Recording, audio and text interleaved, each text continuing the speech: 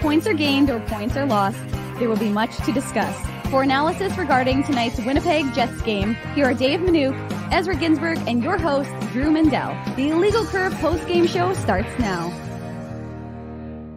Good evening, Winnipeg. Good evening, Manitoba. And for all those joining us live somewhere on the interweb, good evening and welcome to the Illegal Curve post game show.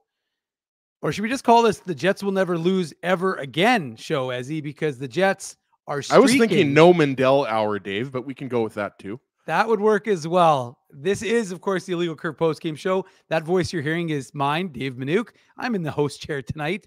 That is my main man to my left or right, depending on your perspective, Ezra Ginsburg. And we're here to talk about the Jets' fifth win in a row. They sweep Del Boca Vista, phase three. They beat the Lightning. They beat the Panthers. Who don't they beat, Ezzy? They barely lose a game in November. Well, Baby Yoda is already calling a Jets win over Nashville. So, well, I mean, that's that's some good foreshadowing. But the fact of the matter is, the Jets are 11, 2, and 2 through their last 15 games. And of course, we'll uh, have to mention the emotional boost they got with the return of Rick Bowness, which of course is the, the bigger focus, as I wrote about on illegalcurve.com, as he what a surprise this morning. That was just great news to hear. Well, the good news is that Judy Bowness obviously is well enough that Rick feels confident to go on the road. So the good Oh, I think I'm back on somehow. Oh well. Hello, everybody. There's Dave Minuk. I am. Can you hear me now? Here's the question. Can you hear me? I well, obviously they can hear me, Ezzy, because someone Betsy heard me drop an F bomb. So uh hell of a show. Hell of a show we're doing this Friday night. All right, everyone. As you can tell, I was a little stressed. Making things happen. We're back. I apologize for uh the F bomb, but you know, I was wanting to get back on this show and get back to, to business. So thank you for Ezzy for uh for running the ship and let's get back into it. But anyways, what I was saying when I went when I went mute was simply that uh, the Jets got obviously Rick Bowness back and and they're happy and there's a lot of good feelings with this team right now. Five wins in a row, and uh, again, like I said, there there's a lot of joy in Joyland. And the one thing I was about to say, boys, as is the fact that Gabe Vilardi is shed his non-contact. So, and that's something obviously we'll talk about more tomorrow. But uh, Rick Bowness wasn't prepared yesterday to say that there wasn't going to be a Gabe Vilardi return on Sunday. He said, we'll see, which is typical uh, of Rick Bowness. So no surprise there. Okay, well, I appreciate everybody in the chat for giving me and uh, and uh, and bearing with me. So uh, thank you for everyone. Thank you for Ezzy for for trying to steer the ship while I was having technical problems. But we're back, and we're not going to tell Mindell about this. As we're just going to cut those five minutes of dead air out Maybe my f bomb will leave in, but let's uh, let's try and get into it because you know we have a we do have a show tomorrow, so uh, we better get started with our from our friends at Betway, the Betway game recap. The Betway game recap.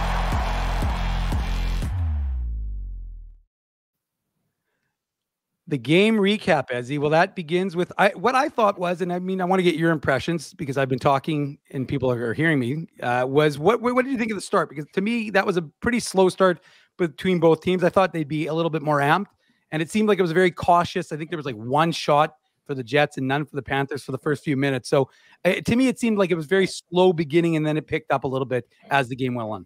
Yeah, I would agree with that. It was a little bit low event until maybe the last, you know, four or five minutes of the first period. But uh, you know, I think that you know the Jets definitely you know picked up some steam as that period went on. And yeah, I mean, you know, it was a little bit of a chess match in in the first period, uh, to be expected a little bit. These teams haven't played in a while, and you know, the Jets. Uh, you know, I think you know this was another game where the majority of it was played at at five on five, but there's no doubt that this was a little bit slow to start. Yeah, and and and you know the the biggest question mark coming into the game for the Jets was the status of Brendan Dillon. He didn't skate this morning. Uh, he was a game time decision with the lower body. I thought I happened to be reviewing that Tampa game uh, for reasons unexplained, and um, I thought he got taken out a little bit in the in the third third period or second period of that game. So he has got taken out of the leg. So I'm thinking that maybe that was what was bothering him. But all Rick Bowness said was that it was a lower body injury. He obviously ended up playing. Logan Stanley did not. And uh, the man who I think deserves a lot of credit, Ezzy. And I, I jokingly said, get him signed to an extension ASAP. Is Nino Niederreiter, and he's the, of course the guy who gets things started for the Jets, and he's just a bull in front, and that's how you know you need to get some goals, and that's exactly what he did to open up the scoring here uh, for the Jets in the first period. Yeah, absolutely. Niederreiter just gets really good positioning in front of uh, Brandon Montour, who's the defenseman that's covering him. Um, but you know, love love Dylan Samberg puts a good shot on net, and and you know, look like Sergei Bobrovsky doesn't handle the initial shot by Samberg well. I think Samberg's got an underrated uh, good shot. So I mean that there's a little bit of blame to go around with with Bobrovsky, but you love how Niederreiter just out muscles Montour, who's a big boy, one of the Panthers' best defensemen. Um, and you know this was right off of a faceoff, so obviously you know Lowry wins the faceoff, and you know good on him uh, for doing the the dirty work along the boards to get the puck back to. Uh, pardon me, it's Appleton. Uh, Lowry wins the faceoff, goes to Appleton, so he gets the puck back to uh, Dylan Samberg, who puts it on net. But yeah, this is you know just vintage Nino Niederreiter, right? He's a big boy, 6'2", 6'3", 210 or two hundred and fifteen pounds. Uh, so that's just a quintessential third line hardworking goal.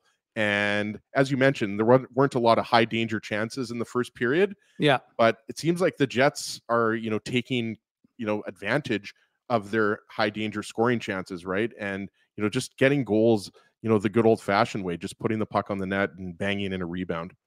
Yeah, and and that third line just continues to get it done, and the second line as well. Like I mean, all the lines seem to be getting their chances. Like you said, there weren't a, a ton, at least in that first period, but you know they're generating and that's what you want to see and, and the fourth line too deserves a lot of credit obviously there there there weren't a ton of special teams in this uh, you know game in the game but they when they get called on those guys have been able to you know um, be pretty solid so from from a from that perspective it's it's another thing that you've got the four lines are rolling and and that's a good thing for the jets and you know it, it's a one nothing period and and overall i thought again it, the first period it was it wasn't a wasn't the best period of hockey but it's it ended a lot better than it began. I thought it was a lot better than you know than it had been.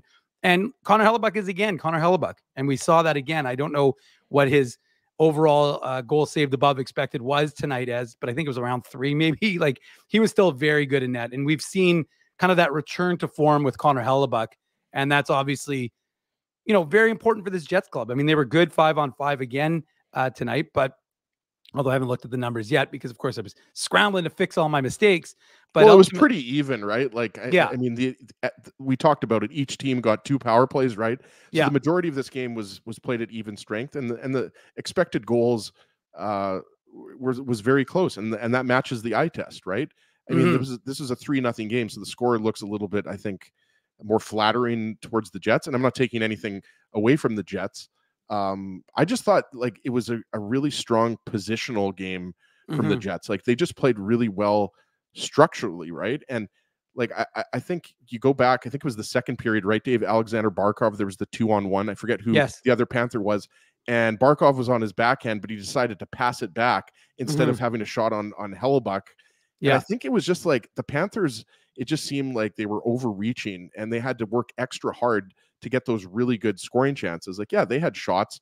Remember Ristolainen, um, I mean, he whiffed on the the breakaway. I think mm-hmm. that uh, a Panthers power play, if I'm not mistaken, or maybe that was a shorthanded. No, it was shorthanded. Yeah, it was shorthanded because Ristolainen wouldn't be out there for the power play. Right. He gave the puck away. It might have been Morrissey, uh, who I thought was excellent tonight. But yeah, yeah sublime, I mean, sublime to quote Dan, sublime, Dan absolutely great band and great word, right? But yeah, I mean the Jets. Look, I mean they're rolling right now. It's pretty absurd if you think about it. 11, 2 and two. You know, five wins in a row, and they're beating good teams, right? Like Florida, Tampa Bay, New Jersey. You know, these are good teams. Obviously, you know Arizona, not so much. But right. Arizona, you know, they're a pesky team. They're definitely better than they were last year. And Ezzy, they were only two points back of the Jets at the time those two clubs met. So it wasn't as if you were talking about a club that was, you know, in the basement. I mean, Arizona's been picking up wins. And you're right. Like this is this is not a mirage. I mean, like, you know, Paul Maurice, what was he used to say? Your your record is who your record is, it says you are.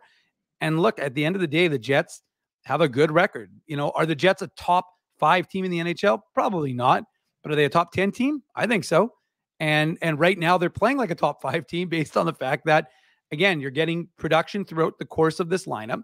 That third line continues to produce because remember, we've always talked about it. They're good, they're heavy to play against, or they're hard to play against and heavy to play against. But the fact of the matter is, and they were able to hold water, but you're getting production. And to me, that was the biggest question mark. We always said this you can't be a line that gets as many minutes as they do and not produce goals. Obviously, you want to be able to hold them, but you need to be, you know, on the plus side of the ledger, as they say, as and and the Jets' third line, or however you want to construct those lines or, or reference those lines, is getting it done right now. And so they do, you know, in that first goal. And again, you know, just quickly, it, to me, Nino Niederreiter just does so many smart things throughout the course of a hockey game in the offensive zone and in the defensive zone and in the neutral zone. So you got to give that credit guy credit because whenever you see 62, you're you're just impressed with his tenacity and his work. And to me, that's that's what he just screams out, and that's why he's such a good fit in this on this Jets club. Right. And Morgan Barron did an admirable job last year, but you you I mean it's just been an upgrade on that third line, right? Mm-hmm. And and obviously Niederreiter was more of a top 6 guy when he came over from the Predators yeah. Uh, before the trade deadline, but I agree. I mean, that line right now, I mean if you want to talk about, you know, usage, they're actually the Jets second line. Right. Right? But obviously third line when it comes to talent. So mm-hmm. we're going to call them the, the the third line, but you're absolutely right considering that Niederreiter could easily play on the second or first line. I mean, he really does it all. He he is an excellent defensive forward. You always see him hustling, getting his stick, you know, in the way of passes and and shots and everything like that. And you know, he's not uh, a quote unquote tough guy, but he's a right. big guy. We talked about it, and he's an annoying player to play against. Right? He gets in on the forecheck. He goes to the net. He causes his defenseman. You know, he's a distraction in a really good way in front of the net. Right? And you saw that on the first goal. Right? And it's kind of funny, right? That he's got six goals, but they're all on the road. Uh, and he's played well at home, but he obviously, you know, is more comfortable on the road. Just kind of a weird stat. He's obviously going to eventually score a goal at Canada Life Center. I just thought that was interesting that you know all six are on the road. Well, as he, he obviously hates his goal song and wants to change it. Yeah, it's funny. I don't even remember what his goal song is. Uh, what is his goal song? Well, I mean, there's a little site called illegalcurve.com that says if I type in Winnipeg Jets goal songs, it will tell us all of the Jets goal songs. Well, and uh, this oh. is a good comment from Baby Yoda. We're putting up a lot of Baby Yoda comments tonight, but you know they really can. Oh, Disco Inferno, Ezzy. There you go. Yeah, Disco Inferno is a good one. But you know what I'm it talking about? Song. Like this, this third line really is yeah. the best that we've really ever seen the Adam Lowry with any group of of players, and that is a testament to Mason Appleton's improved play this year. He's obviously yep. you know on pace for his career high in goals and assists, right? Mm-hmm. And Nino Niederreiter, who just complements. They just this line, they all three players complement each other, and they're really tough to play against. That's the thing. Yes, they've been scoring, but when they're not scoring, they're out there, and most of the time the puck is in the other team's end, and they're causing the other team fits. So yeah, right now I think a lot of teams around the NHL are having trouble dealing with the Lowry line. Yeah, and and look, there were the second period goal summary as he is pretty easy to go over. There were no goals in the second period. There was uh, not a lot of penalties. There was not a lot of power plays. There wasn't a lot of anything in that second period. You know, I mean, again, the Jets' uh, penalty kill was was solid. We know they didn't they didn't give up anything. I thought the refs seemed not. They seemed almost uninterested in calling penalties in this game, and I'm okay with that but they did let a lot of stuff go. Like there was that little play where Matthew Tkachuk uh, was on his knees, looking. He's looking to the right. I shouldn't do that when I need to be speaking into the microphone, but Tkachuk is in looking to the right. Scheifele's skating from the left, and Tkachuk kind of goes bang with his stick, and you know, of course, oh, I didn't see you there, Mark. And and the one thing you do like to see, because I thought it was interesting, I think it was at the end of the second period, was the fact that is the refs when they're not calling things, like for example, when uh, there was a play um, when Nate Schmidt gets taken out, and Dylan Samberg comes to his defense and basically like takes Tkachuk and I don't remember who the other Panther was, and he puts him into the boards, and you know it starts a huge scrum. But like you want to see those guys sticking up for each other and standing up for each other, and especially if you know we saw obviously with Brendan Dillon taking not not liking that at the end of the game, but you want to see the guys either standing up for themselves or standing up for the teammates and not being pushed around because you know look they the people talk about the Jets being a big team they're not that big a team there's some big guys on this team but they're not a huge team but they played you know big enough and the and the Panthers are a bit of a chippy team they're not again they're not the biggest team but they play a little bit of a more physical chippy uh, style of game yeah, absolutely. I, I, would agree with that. And obviously led by Matthew Tkachuk. And you're right. Mm-hmm. I mean, you'd like to see that teammates sticking for, up for each other. And this isn't the first time that we've seen that, obviously. We've yeah. seen that, you know, the whole season. but you're right. I mean, I, I I think it really ultimately comes back to that. You know, the Jets are a hard team to play against with four good lines now. And you know, we talked about it earlier. Dylan Samberg had two assists tonight. Like Dylan Samberg and Nate Schmidt are definitely playing their best hockey. And it came out earlier this week that they're actually one of the best lines. I saw pardon that. me, best pairs when Yep. it comes to expected goals against, right? Yeah. And obviously they haven't played the whole season together, Right. uh, but they've played over hundred minutes together, right? That was the uh, Mhm. requirement for that uh, those rankings, right? That I think came out from either Money Puck or or J Fresh Hockey, right? Well, one of the but two. yeah, just incredible, really. You know what this team is doing, right? Because I think you'd you'd agree, Scheifele, Connor, Iafallo, like they, they were they were they were solid tonight. They were good, Mhm. but you know they didn't put you know seven or eight points on the board like they have in previous games. Yeah. and same thing with Ehlers, Perfetti, and Namestnikov. Obviously, the second line gets one of the goals tonight. Right. Um, but it was just it's there was just balance.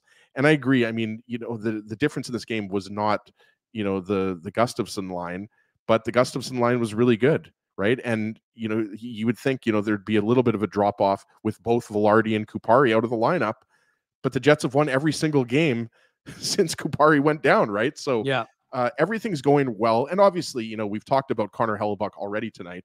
Yeah. Um, but when Connor Hellebuyck is playing that way, they Yeah. can literally beat anybody. No, there's no question about it. And I agree with you. I thought the Panthers were trying to be too cute with a lot of their chances. So, you know, there were there were times where you just get the puck on net and hope for a rebound because, you know, Connor Buck's making, like you said, it's like Kramer kept making all the stops and he's making all the stops as. So it's, it's Evan to- Rodrigues had the chance. I wanted to to highlight that one, Dave. We mentioned the Yeah. second period. Uh, obviously, uh, no goals, right? But Yeah. uh, the, you know, there was a really good chance. Evan Rodrigues had the puck behind the Jets net. He brought it out. There was nobody in front. Mhm. Uh, he had a lot of time. You know, basically, you know, and, and Evan Rodrigues is a good player. I think he's got six or seven goals uh, already Mm-hmm. this year. Uh, and Hellebuyck just made a glove save make absolute look easy. Like he he was he was down a little bit, but he just made the save look easy. And I Yeah. think you know we mentioned the Alex Barkov chance on the two on one, Mm-hmm. uh, and he decided to pass. He should have shot because that's the thing too. We've watched Connor Hellebuyck enough to know that you know based on his work in the first period, this was a game where he wasn't going to be letting in more than a goal or two. yeah. Right. So when Barkov has a grade A chance like that, he's got to shoot. Easy for me to say. I mean, Alex Barkov is a top five center in the league, arguably, definitely top 10, one of the best defensive forwards, you know, in the last decade in the NHL. But uh, just thought, you know, that was kind of the type of night it was for the Panthers. The Jets played that well defensively that they were frustrating the Panthers.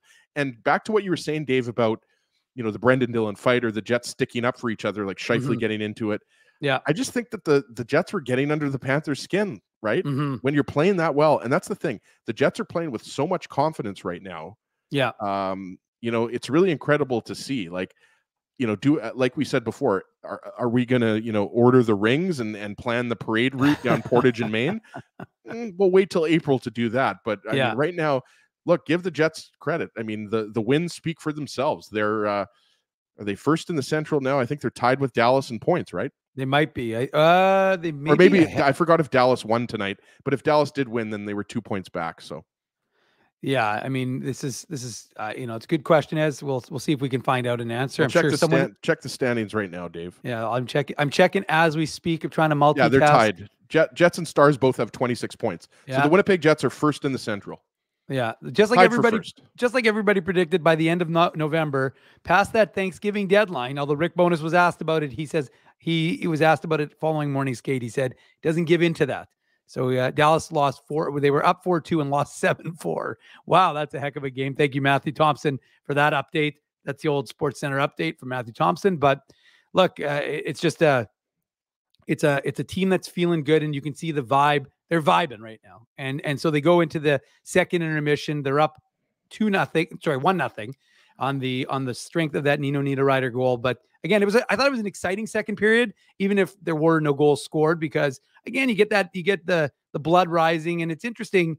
You know, similar to what we talked about on the last post game show, as he with the fact that Tampa Bay and and Winnipeg always seem to play tight games and exciting games. You know, I thought the Panthers and Jets game was was a tight game and it was another exciting game. And and maybe it's those first few years of the South Least division carrying over, but ultimately, uh, you know, again, it was an exciting 40 minutes.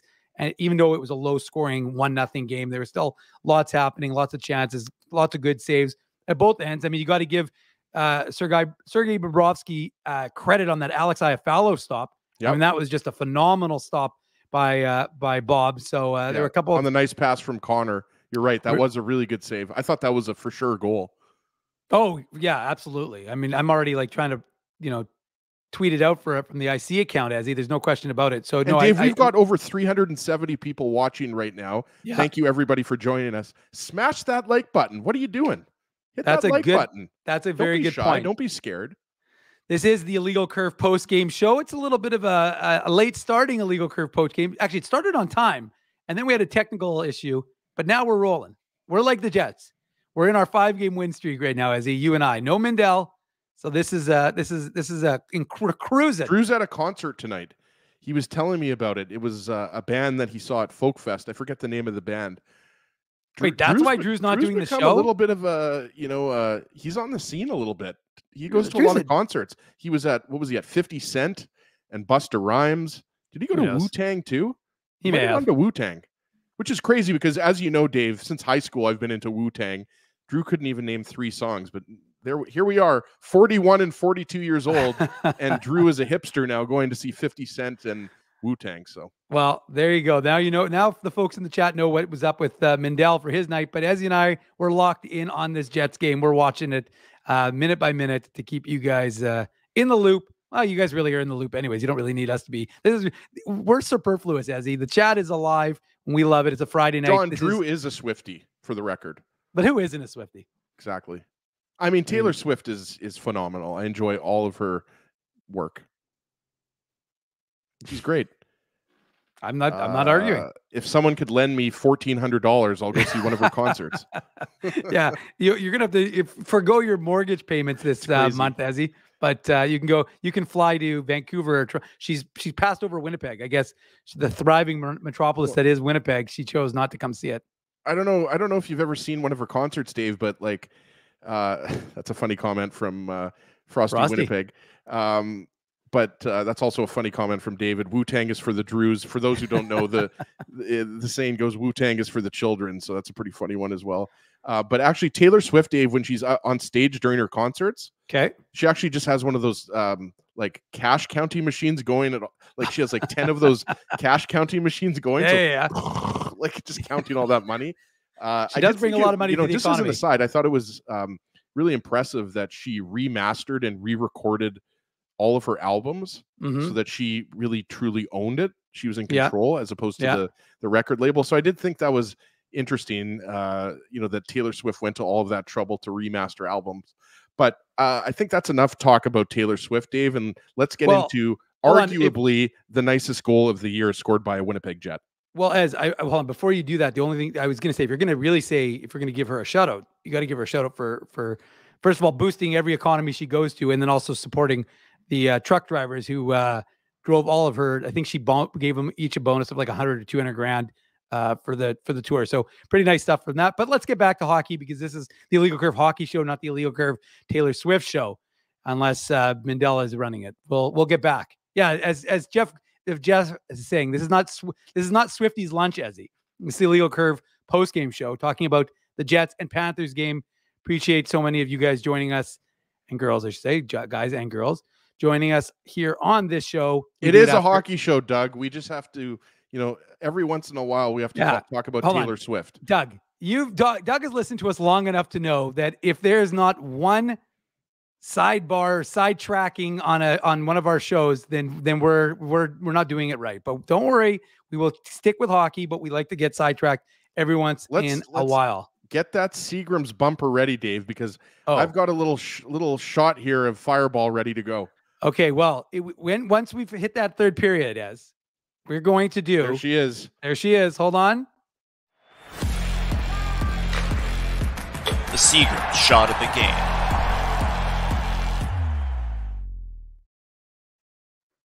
Like Nikolai Ehlers L'chaim, been Dave. L'chaim. There you go. Oh, he's nice. Very put in a nice classy glass. Ooh. Nicely done. Oh, that's delicious.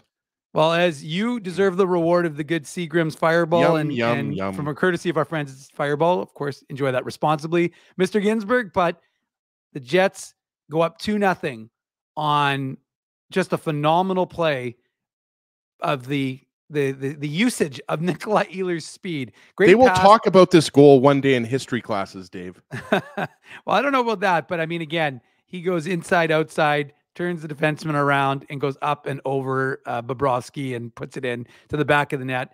Uh, that was at the 11:15 mark of the third period, and it was just a phenomenal effort by Nikolai Ehlers. I mean, that's that's what you need him to be doing, which is using his his legs and his speed, and we've seen it more and more. And and again, like nobody's surprised by the fact that Nikolai Ehlers is now getting into that form as oh everybody want to see you chug?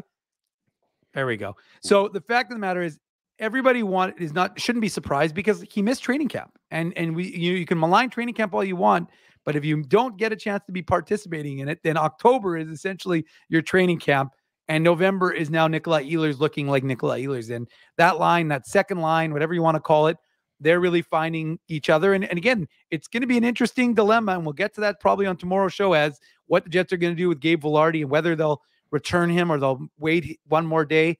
But that's just such a phenomenal goal by Nikolai Ehlers to make it 2 nothing for the Jets. Yeah, and just before we get into that goal, because obviously we're going to spend some time here on this goal because we only have three goals to talk about. but this is obviously, you know, uh, I think a contender for goal of the year. I think you would agree, Dave, that the Mason Appleton goal uh, scored earlier in the season, I forget who that was against, where Josh Morrissey had to pass Adam Lowry a stick from the bench. Yeah, I think I think you know that's in contention. Um, for, I think for Well, now, now, I don't, now I don't have to feel bad because I think we lost Desi. Boy, it's just it, it's been quite a night on the illegal curve post game show, folks. This is is is Ez frozen or is it me frozen? Which one of us is frozen right now? I need the chat to give me the heads up because right now it looks like Ezzy's frozen, but that mean could mean that I'm frozen and I'm just living in a parallel universe. Okay, good. Running man saying Ezzy's frozen. Boy, boy, everyone, this has been quite the night. But this is what happens when you rely on the internet or you rely on technology. We didn't really necessarily have this problem back in the day, back in the the 1290 days. Every once in a blue moon, that would happen to us. But we appreciate you sticking with us while we. uh Hey, Ezzy had to run solo for a bit. Now Dave M is running solo for a bit. Somehow Ezzy's back, but it's a new Ezra. But he's got the old Ezra. How many Ezras are in the chat? Uh, for the record, we're oh damn it, you got rid of it. how was that even possible? I don't What know. What happened was, there? I That was amazing. My internet browser, like, did I just like? What happened? That was weird. My You- internet browser just completely shut down, and then I got like a virus protection notification. Well, you were taught. So what happened was I was listening to you talk, and then your your face appeared to be frozen, and I was about to message you in the chat saying, "As your face is frozen, but I can still hear you perfectly." And then all of a sudden, you just went silent, and then I started explaining to the folks in the chat that we're having one hell of a night here. well, it's it's been that kind of night, so there's only really one thing to do: take another Seagram shot of the game. That's what I like to see. There we go. Finishes it off. But okay, well, let's get into it. I mean, look, that goal by Nikolai Ehlers, I agree with you. It it is a goal of the year candidate. At least, you know, we're approaching the quarter mark. So it's Yeah. a little bit early to be saying it's going to be the goal of the year. But it's just a phenomenal effort by 27. And it was outlined by you in the one of the comments that he fakes the shot, then goes around and then puts it up and over uh, Bobrovsky to make it 2 nothing. Yeah, absolutely. And I mean, this goal, I mean, is is really all uh I mean, it's it's all speed, but it's all stick handling to me, right? And yeah, it's an inside uh inside outside move. Uh but I mean, just the speed of Nikolai Ehlers and I, I like like and and you know p- uh, people are talking about you know the the defenseman was uh was it Balinskis who's the defenseman I believe 26, right, was the defenseman. So he's he's obviously not a you know a top defenseman for the Florida Panthers. Aaron Ekblad and, and Brandon Montour, the two best defensemen uh, for the Panthers. But um, you know, I, I I don't know. Like I, I think Nikolai Ehlers to me knew that, and he probably knew that he probably couldn't do that around um, you know an Aaron Ekblad or a, a Brandon Montour. Um, but just incredible that Nikolai Ehlers can do that at at top speed, right? And that's what stood out to me. Like Nick Ehlers has done some pretty special stuff, but the fact that he accelerated at that level uh, and then just put that inside outside move backhand to forehand and just also just a beautiful shot. Like everything about that was just an uh, you know great individual effort um, by Nick, Nick Nick Ehlers. And I agree with you, Dave. Like the start was slow, Mhm. um, but he's definitely picked it up. That line, Ehlers, Perfetti, Namestnikov have been incredible. But yeah, I, I think regardless of who that defenseman was, you still have to give. He's still an NHL defenseman, Balinskis. I don't know a lot about him. right. Uh, I believe this is his rookie year or his second year. He hasn't been in the league a lot. Mhm. Um, but uh, yeah, just a, an amazing individual effort. And to do that at top speed and then finish it off with a beautiful shot on Sergei Bobrovsky, who played very well tonight. Yeah. So that that has to be for me. If it's not the goal of the year so far for the Jets, uh, Yeah. it's right up there with the Mason Appleton goal. Yeah, no, I, I that's a good point, Ezzy. And and again, that's what you want to see if you're, you know, folks were worried about Nikolai Ehlers, right? And and now you're seeing him heat up and and you're seeing that line continue to add production. And, that to me is the most important thing. Like, you know, everybody gets excited when you see the Scheifele, Iafallo, um, Connor line put up, you know, 11 points in the game. Each guy gets three, four points, whatever it is. But the more important thing from any for I would think that anybody would, would tell you is that you want to have depth. And so from from a Jets perspective, looking at this team, getting the scoring from the third line, getting the scoring from the first line, and getting the scoring from the the uh, second line. And again, you're not getting any scoring really from the fourth line, but they're still having a lot of success. They're doing what they need to do, which is you know carrying the puck into the offensive zone, weighing the other team's you know defenseman down, you know cycling the puck, and just trying to control whatever they whatever time they have on the ice, you know, and keep it in the other end of the ice, uh, you know, from the, obviously from their end. But again, like I said, if you can have three lines churning and scoring, like the Jets seem to be doing right now, as he, I mean, it's it's going to produce. And right now, like we said, five wins in a row, 11, 2 and 2, only two losses in all of November. They'll try and keep that going when they play the Nashville Predators on Sunday. And, you know, as I'm not going to ask you to break down the final goal, of course, because we don't generally break down empty net goals. Well, it's funny. I mean, we were joking. Uh, Nino Niederreiter should have had an empty net goal, uh, but he missed it somehow. Well, Uh, and, but and yeah, I mean, look, look, Adam Lowry, you know, continues to be hot. The third line remains hot, and I agree with what you're saying, Dave. Like we've talked about it quite a bit on the Saturday show. Like the Jets' forward depth is probably the best it's been since that 2017-18 season. yeah, Um, but also you throw in now Connor Hellebuyck. You notice that he's right up there now in terms Mhm. of goal save above expected with Thatcher Demko Yeah. and uh, Jeremy Swayman and and other goaltenders, right? And you know everyone is freaking out after five or six games. But if anybody knows anything about Connor Hellebuyck, it's that he's harder on himself than anybody. And if he Yeah. has one bad start or two bad starts, usually that's followed by three, four, five really good starts, excellent starts, right? So Mhm. yeah, right now, I mean, look, I mean, Dallas right now, I think is I I would say is a little bit better than the Jets. I think Vegas, uh, you know, is is the top team in the West, not just in the standings right now, but I still think that they're the team to beat in the West. But I think you could safely say the Jets are the third best team in the West, right? And Colorado's in that conversation. Sure, throw in Vancouver as well. You can't discredit what they've done. Um, but you know, going into this, this is not an easy road trip, right, Dave? No. Like Florida, Tampa Bay, Nashville. I don't know if anybody saw Nashville won seven two today over St. Louis, right? Mhm. So obviously, you know, I don't think anybody thinks Nashville is a the Ryan O'Reilly contender. return game, has he? Right. So I mean, that's not going to be an easy game, and we'll break that down on on tomorrow's show. But you know, you know, Jets fans, you got to enjoy this right now. And I think you know, based on the you know 330 plus people watching right now, I think everybody's enjoying this Jets winning streak. By the way, did we have more people on the show when we weren't actually on the show than they do now? I mean, is that possible? I do like this comment by Jeff, right? The one we just had up there, Ezzy, because it's it's interesting, right? This is the longest we've seen these lines somewhat stick together. You know, Gabe Vilardi's will, if he doesn't play, I think he's missed 16 games now. Uh, so that was his 16th game missed. And it'll be interesting to see. Obviously, Rasmus Kupari comes out uh, as well. And so you've got Gustafsson and Axel Jonsson Fjallby. Yeah, it, it'll part- be it'll be AJF, Dave. I don't I don't see Gustafsson coming to the lineup. That's my opinion. Oh, So I see what think, you're saying. I think Axel Jonsson Fjallby becomes the 13th forward once Gabe Vilardi comes back. Yeah. And obviously Kupari is going to be out for uh, you know another 5 to 6 weeks here, right? Mhm. So and that's and and you know obviously you don't ever want a player to be injured, Right. but David Gustafsson's playing well. Like he's Mhm. not, you know, scoring every single night. He had a scoring chance tonight. Him and Morgan Barron combined to have a decent scoring chance. Yep. Um, and they've just played well, right? Getting kind of around that seven to 10 minutes, closer to 10 minutes. Yeah. Um, So it was sub 10 though, for sure. yeah, but I mean that's that's what you expect in a in a closer game. I mean, if if the Jets are up, you know, three or four goals, then the fourth line might get into that kind of 12 to 14 minute range. But that's what you want out of a fourth line. You want a solid seven to 10 minutes.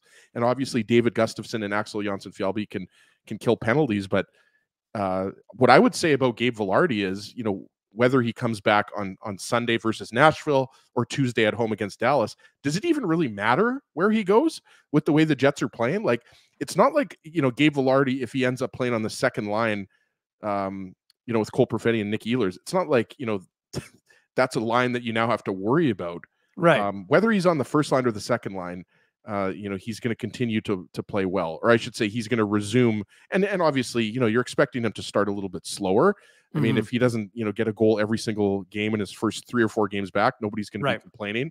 But that's what I would say right now. I, I think that's a good problem to have when you have four good lines going. Um, you know, I, I personally, Dave, I told you I, I like Vilardi up with Scheifele and Connor, but Vel- Yeah. but but Iafallo is playing really good there. So I think probably what makes the most sense is you know you put him on that second line and you move Perfetti back to the middle. Vilardi plays on the right.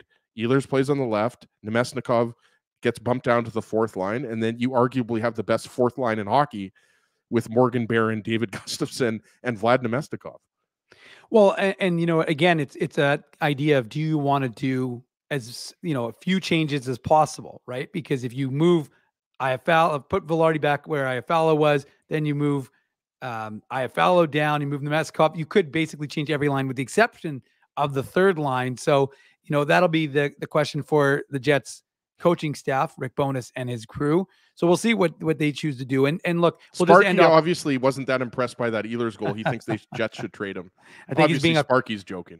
I think Sparky's being a contrarian. The only things you folks, if you want to be contrarians, is two things. Number one, smash that like button while you're listening to this being the Illegal Curve post game show. I'm your host, Dave Minuk. He's my main man, Ezra Ginsburg. Or, not or, and please make sure you're subscribed. Now, most of you are, which is always a good thing, but if you can, make sure you're subscribed. Oh, also, I'll add a third thing, Ezzy. Make sure you add a comment. So, just quickly to finish off, Jets have a chance. You said you touched on it. Nino Niederreiter could have put it into the empty net, doesn't. And then they pull the goalie with five minutes to go. Bold play by uh, Paul Maurice, down two goals. And uh, of course, then Vlad Namestnikov gets that probably your second least favorite penalty. Your delay game is probably the, your least favorite penalty. Face off violations, Ezzy. I don't know why. But I feel like that would be your second least favorite penalty. So Vlad Namestnikov, Vlad gets hit with the face off violation. So the Panthers have a chance six on four, but Captain Adam Lowry, after going nine games without a goal, he's got goals in back to back. He puts the dagger into the Panthers, three nothing, and the Jets are going streaking five straight games with a win for the Winnipeg Jets. So uh, things are good in Jets land. It is my thanks, Perry. It is my show. I appreciate that. Perry, uh, the winner of the Tough Duck Took. Who will be the winner of the next Tough Duck Took, Ezzy? That's a good I've question. got one queued up. There have been some great comments tonight, but I think This I have my winner. I don't, Dylan's saying what time is the Saturday show? The t- same Saturday show is the same time it's always been, Dylan. Nine o'clock sharp. Well, we say sharp, but it's usually nine o one because Ezzy and I are usually Nine o'clock central. Yes, nine o'clock CST. But I'm not is sure if it, Dylan is in the is in Manitoba or the Central Time Zone, but it is nine o'clock Central. And as Dave mentioned, it's been nine o'clock Central for what, thirteen years now. the only time we ever didn't do a show at nine o'clock back in the day, back in the TSN days, was that if the Jets were playing, and I remember in particular, they were playing in Philadelphia at noon, and we had to do a show at like six in the morning because our, our old show, as on TSN 1290, was a three hour show. So we used to have to go on because we'd go on before Hustler and Lawless, and uh, we'd be on before the pregame show, I guess. But like it was crazy. We'd be doing like we'd be on at like six to nine. And then I, I remember that's when I put my foot down. I said, "That's it. I'm done. I'm not doing a six." As he picked me up at like maybe like five thirty in the morning. Uh, so I was like, "No, no, no, no more of those types of shows." And then we killed it It's down. some nice breaking hours. news from Bailey, by the way. Schmidt and Hellebuyck get the jackets tonight. There we Very go. Well deserved. Yeah, Dave and I were talking about that watching the game here in the third period. yeah, Uh, we already talked about how good of a pair, you know, Schmidt and Samberg have been lately. That third pair. Um, But good on Nate Schmidt, right? Like he was a healthy scratch earlier this season. Uh, you know, we talked about Brenden Dillon was a game time decision tonight. He obviously did play, so I guess Logan Stanley probably would have gone in. If Yeah, he would- he would- he wasn't took- ready to go. Yeah, he took Logan Stanley skated in his place uh, this morning at, um, at at morning skate, as per our friend Ken Wiebe of the Winnipeg Free Press. So that still sounds weird to say. okay, well let's uh, let's head to commercial break. Let's pay some bills, as and then once we come back from uh, commercial break, we will anoint a tough duck winner. We'll maybe set up tomorrow's show. Uh, as in, I want you know can't go too late. I know folks want us to go long, but you'll have to get it all out in Kenny and Rennie because uh, you know, we got another show coming up in less than 12 hours. So uh, let's hear from our sponsors right now. Your coworkers love you because you always make them laugh. You're the life of the party with stories that have them rolling on the floor. Or maybe you're just the quiet one in the corner with the one-liners that just slay. Do you have what it takes to become Winnipeg's funniest person with a day job? Try your luck. Hit the stage at Rumors Comedy Club, and you could be walking away with $1,000 cash. Winnipeg's funniest person with a day job, presented by Rumors. For all the details, head to rumorscomedyclub.com. So you're a pizza person, you married a wing person, but somehow your kids are salad people. You can't pick your fam, but you can pick your BP meal deal, starting from $18.99 for takeout or delivery at bostonpizza.com. The game can change ah! just like that. Accidents happen when you aren't protected. So now what? Getting to your injury quickly can make all the difference. Help prevent them from being game changers with Linden Market Dental Center. Bonding, crowns, bridges, and dental implants. State of the art treatments are available to help you get back in the game. To learn more, visit lindenmarketdentalcenter.com. Creating smiles for life. Whoa, Ezzy, everything okay? You look stressed. Of course, I'm stressed. We're moving, the house is upside down, the kids failed miserably at packing the fine china, and my life is in chaos. Chaos! Yes, that does sound like a problem. What am I going to do? Ezzy, relax. Rolly's Transfer Moving and Storage is the answer. With 60 years of experience in moving Manitobans and a track record of exemplary customer service, one call to Rolly's and your stress is gone. No job is too big or too small. Just visit rollies.com and they will take it from there. Thanks, Dave, and thank you, Rollies Transfer Moving and Storage, online at rollies.com. Boston Pizza harnessed Fanalytics to test if the game is better at home or at Boston Pizza. The results are irrefutable. Catch the game at Boston Pizza, powered by Fanalytics. For three generations and over 80 years, Tough Duck has been making apparel that works and plays as hard as the people who wear it. From jackets to work boots and everything in between, Tough Duck's clothing can handle the harshest environments, even the illegal curve hockey show. Work to live, live to play. Visit toughduck.com.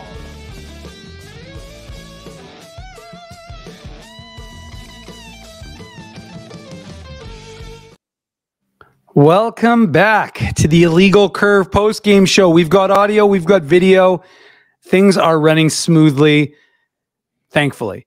I am your host, temporary host, Dave Minuk. He is Ezra Ginsburg. I saw that comment by Larry. Larry went to an Olive Garden for the folks who are listening to the podcast. Haven't been to an Olive Garden in a while. We actually ordered it.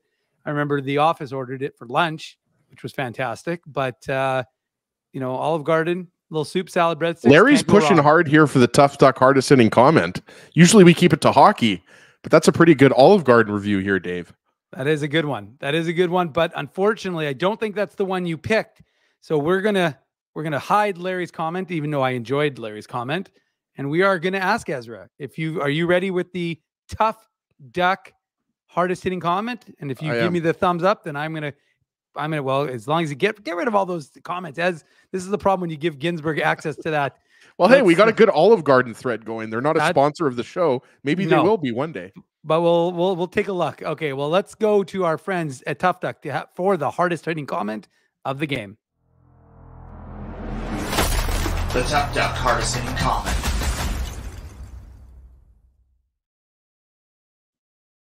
Okay, here we go. Lots of good comments tonight. We appreciate everybody joining us, but we're going to go with uh, IC post game show regular, and we're going to give it to Dark Moon. I like this comment.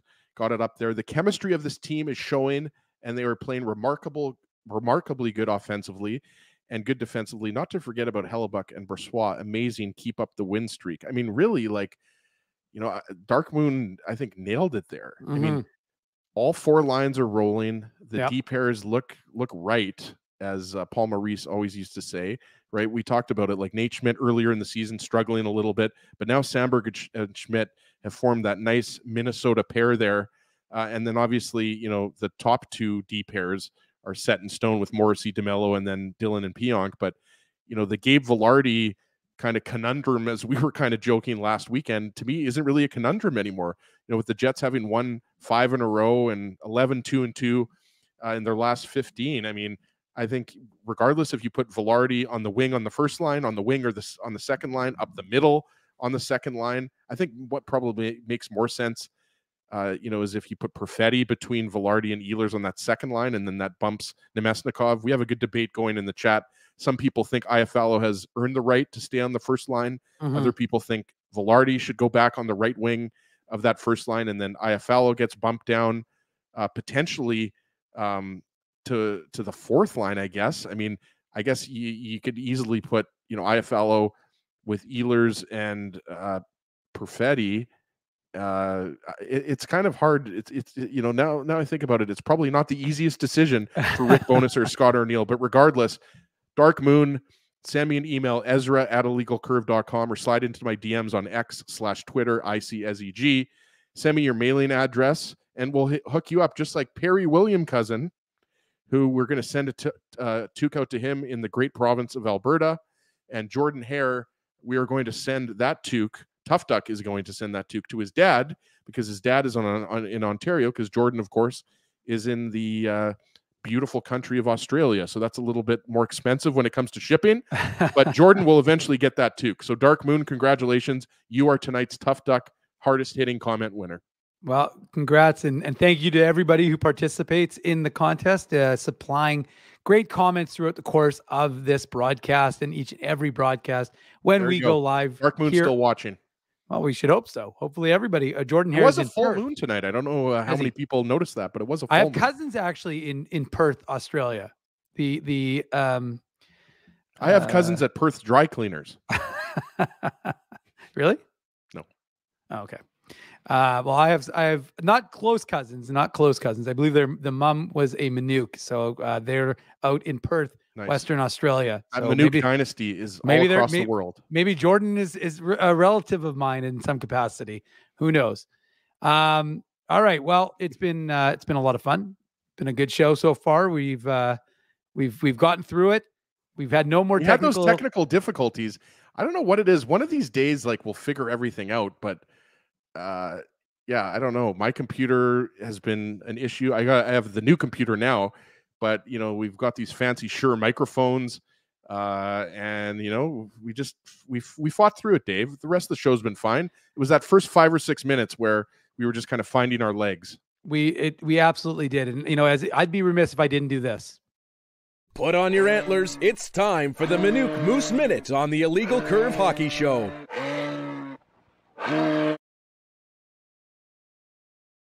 It's really just a fake out because the Moose were. It's a great comment from Jeff, by the way. that is a great comment. I see technical difficulties greater than or less than EA Arlington Bridge has. Uh, I would say equal. No, it's greater than or less than. But remember, it's always the alligator eating. No, I know that that was greater than. I thought you were asking me if I thought that that was right. If it was greater than. Oh, I see what yes, you're that saying. is greater than. Yes. Okay, I didn't. I, I didn't know if you. The I'm like, Arlington Bridge, as you know, Dave, though, has been a little shaky for over a decade now. like we're talking about probably 20 years that that Arlington Bridge has been shaky. So I'm not sure that you know spackle and uh, you know mortar is going to take care of that. I think that's going to be well, maybe. it That's sounds like it's going to be a bomb that's going to be taking care of it because they're I demolishing say, it. As. I think that's a, a demolition job at this point. Uh, well, I, I, it, I, yeah, it's, it's unfortunate. Like I said, it's the best route from, uh, from Garden City to the downtown. So it's unfortunate for those of us, uh, who use it quite frequently, as I did. Perfectly, perfectly timed lights. It was great from Inkster all the way to the bridge. It was smooth sailing, and then there weren't a lot of lights between like Logan and Portage. So it's just a, it's a, it's a, it's the death knell of a great route. It's unfortunate, much like the Moose play tonight. So I'm going to quickly uh, zip through this one because Moose didn't do much of anything other than give up a goal on the first shot of the game. Where have you heard that before? Quite frequent this season. And in Grand Rapids, Ezzy, it was the teddy bear toss. And unlike the Moose, who in the teddy bear toss, they do it in the first intermission, Grand Rapids, who I think has the biggest one in the AHL, they I think they end up giving like 10,000 toys away, but they do it at the first goal. So as soon as they scored, the toys come raining down on the ice. And if you didn't see it, I clipped it. And it's on IC Dave. So check that out. But the Moose basically got pumped. They lost 5 nothing. Their PK last year, which was in the last couple years, has been a top uh, PK in the AHL. They're down to 27th, and they gave up two goals on the power play. End up losing. They were five, down 5 nothing. End up losing 5 1. Jeff Malott broke the shutout of Michael Hutchinson, former Jets Moose goalie. So uh, Michael Hutchinson, the, the, right catching Michael Hutchinson. Correct. So Michael Hutchinson, he uh, gets the shutout bid broken with nine seconds to go. Jeff Malott with a shorthanded goal for the Moose. Uh, they'll end their road trip. They went two and three on the road trip. Uh, Nikita Chibrikov, who had six or no five goals in four games, he's uh, his streak is done, and uh, the Moose are going to try and go even it up in the rematch on Sunday. So uh, the Moose are middling right now. The goaltending not great. Uh, of course, Thomas uh, Milic is down with uh, Norfolk. He picked up his second career shutout, but that's the Moose minute. So not a lot to talk about, but we will get into that as uh, when they play again. So we'll have to wait till the next and, one. And but, I agree with what Phil has said. Like, right, like Jansen Harkins, they lose him to waivers earlier in the season, right? Yeah. And then you've got Axel Jonsson Fjallby and Dominic Toninato up with the Jets right now. Yeah. Right. So that's two of their best veteran players. And Jonsson Mhm. Fjallby, he's 26, but he's a veteran player. Yeah. And Toninato, obviously. Uh Jimmy Jimmy Oligny, that injury's hurt. You Yeah, talked about Declan Chisholm played tonight. Like, so that's the thing, right? Like the AHL, of course, is a developmental league, as you know, Dave. Yep. But I mean, the Jet, the Moose, pardon me, are they're a little bit shorthanded right now, right? And yeah, guys like Nikita Chibrikov and and Brad Lambert, they're putting the puck in the net. Their offensive numbers are good. Mhm. Um, but you know, when you're facing some veteran teams like Grand Rapids and and the Toronto Marlies, I believe they're still more uh, of veteran teams, right? Yeah. I, I mean, I don't know their the rosters inside and out. Um, so I think the Moose will be fine. They're just going through a bit of a rough patch right now. Well, the Moose will be back after they finish out this road trip. They'll be back home, and guess what? We'll have lots of tickets to give away. But that's a story for another show, Ezra. This show is going to come to an end. We are going to put us. We're going to stick a fork in this one because, again, as I said, we'll be back at it in what is it like 11 hours? And Dave, Yep. I'm still got to do a game recap. Still got to do the morning papers. So, with no further ado, because my boy Frosty Winnipeg put it up on the chat, we want to thank our sponsors because without them and without you, we would not have a show. Well, we would, but there would be nobody watching and nobody supporting. Rumors Restaurant and Comedy Club, Linden Market Dental, Farmery, the home of the Illegal Curve beer. Hopefully, we'll be doing a Saturday show at Farmery's retail location at 2 Donald Street sooner rather than later. Zappia Group Realty, Betway, Tough Duck, Boston Pizza. Remember, December 7th, Dark Moon was asking about having a beer with the IC guys Jets Avalanche, December- eight o'clock p.m. Thursday, December seventh. Be there. at Boston Pizza on Taylor. IC will be up on the marquee. So come join uh, Ezzy, Drew, and I on December 7th, 8 o'clock, as Ezzy just said. Pizza, get those cactus cut chips, and uh, sit down, have a beer, and watch the game. There you go. Seagram's, Rollies Transfer, and the Rink Guys. Although, actually, Frosty, not the Rink Guys. So, you know, Frosty's got to fix it. I told Frosty if he puts one up that's not there anymore, Frosty's always got to check the YouTube uh, link to make sure what is and what isn't. yeah, the rink Frosty. guys were just a, a short-term sponsor for a month, but Yeah. that's okay. We won't hold that against Frosty. We're very thankful for the rink guys for their support. Yep. And even though they're only a, a short-term sponsor, not sponsoring anymore, we recommend that you contact the rink guys. Go to the therinkguys.com uh, because they're still installing outdoor rinks. Obviously, this uh, milder weather, not a lot of snow, has actually been beneficial for them. So still check out the rink guys for sure. Okay, well, that is a uh, heck of a good show. The Jets are on, of course, a heck of a good run, Ezra. Uh, five wins in a row 11, 2 and 2. Oh, look at that. Frosty's already amended and fixed it as, but 11, 2 and 2 for the Jets right now. They are in first, tied for first, but in first right now on NHL.com in the standing. So there's a lot of joy in Joyland. We want to thank you for spending your Friday night with us. We're looking to forward to already spending our Saturday morning with us here on what will be the Illegal Curve Hockey Show. I am Dave Minuk. He is Ezra Ginsburg. We will be back with you. Enjoy the rest of your night. Smash that like button. Make sure you're subscribing. Drop a comment on this channel or on the podcast. I appreciate it. You know, it's all about the algorithm. Anyways, have a great night. We will talk to you very soon. In fact, we'll see you very soon on the Illegal Curve Hockey Show. This has been the Illegal Curve postgame show.